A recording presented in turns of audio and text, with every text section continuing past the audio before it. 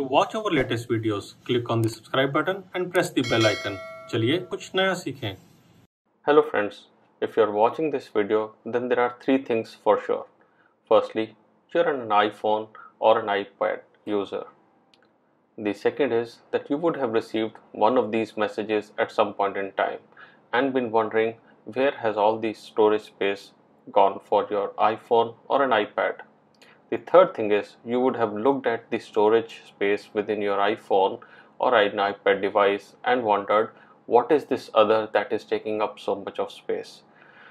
What is also possible is that you would have googled the solution for this and have, would have gone for cleaning up the cache in the uh, Safari and that would have also not worked and now you're wondering what to do next and how can you solve so I'm going to give you one simple step of solving this problem. So let's jump into that. So go to your settings on your iPhone or an iPad. In the settings, search for storage. Go where the settings for the storage are there. Within that, look for where is the Facebook. Go to that, scroll down to the Facebook and click on offload app. Clicking on offload app doesn't remove any of your files or setting. It simply removes the application from the uh, iPhone.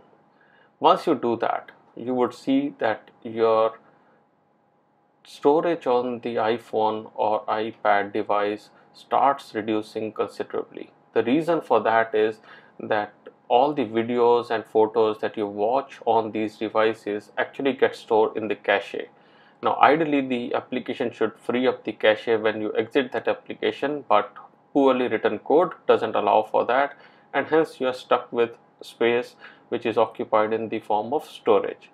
And after a while you should see that the storage space has reduced considerably and the size of other should have also reduced. To reinstall the app just go to the storage again scroll down to your Facebook application and click on reinstall app. That should simply reinstall your application. If for some reason this process hasn't worked for you and you're still getting the high space utilization in others, simply repeat this activity by performing the same step with other applications which have videos and photos in it. For example, YouTube, Netflix and others. The process is very simple and I hope this will help you free up your space. If this video helped you free up the space in your device, do not forget to click on the like button and leave a comment in the comment section. Also do subscribe our channel for more such interesting and informative videos. Thank you.